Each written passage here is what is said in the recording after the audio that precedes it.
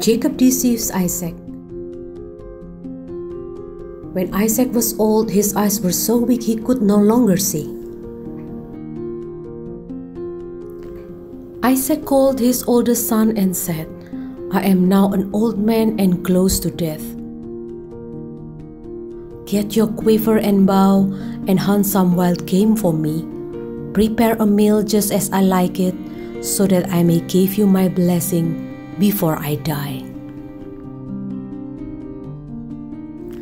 Now Rebekah was listening as Isaac spoke to Esau.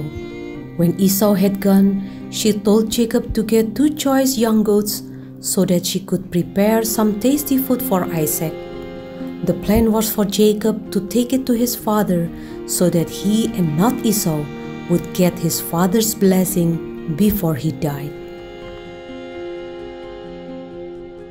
But my brother Esau is a hairy man, while I have smooth skin, Jacob protested. What if my father touches me and finds out I'm tricking him? I would bring down a curse on myself rather than a blessing.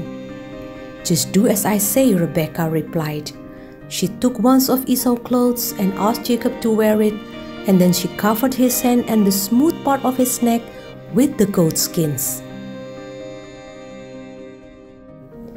Jacob went to see Isaac with the tasty meal Rebekah had made. Who is it? asked Isaac.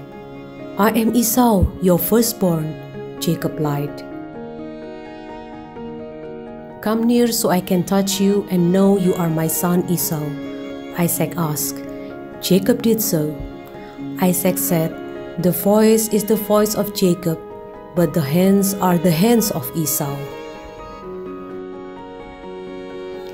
Jacob kissed his father, and when Isaac caught the smell of Esau's clothes, he blessed him.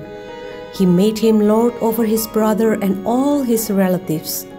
Nations and people would bow down to him. Those who curse him would be cursed, and those who bless him would be blessed. Jacob had scarcely left his father's presence when his brother Esau came in from hunting and prepared a meal. Who are you? asked Isaac. I am your firstborn Esau, was the reply. Isaac trembled violently and said, Who was it then that hunted game and brought it to me? I ate it just before you came, and I bless him, and indeed he will be blessed. Bless me too, my father, Esau begged.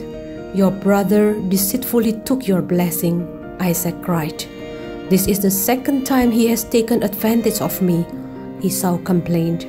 He took my birthright and now he's taken my blessing. I have made Jacob lord over you, Isaac explained, and I have made all his relatives his servants. I have sustained him with grain and new wine. So, what can I possibly do for you, my son? Do you have only one blessing? Esau wept. Bless me too, my father. Isaac answered, You will live by the sword and serve your brother. But when you grow restless, you will throw his yoke from off your neck. Esau held a deep grudge against Jacob because of his deception. He plotted that once his father was dead and days of mourning were over, he would kill Jacob.